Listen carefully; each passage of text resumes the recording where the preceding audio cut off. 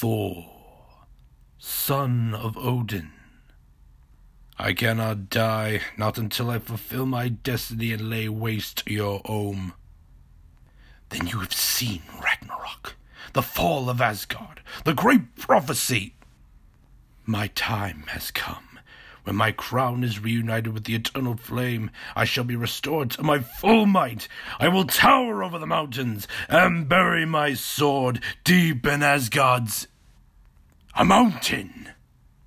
Odin is not on Asgard, and your absence has left the throne defenseless. This is my crown, the source of my power. It's a crown. but Ragnarok has already begun. You cannot stop it. I am Asgard's doom, and so are you. All will suffer, all will burn. You cannot stop Ragnarok. Why fight it? You have made a grave mistake, Odinson.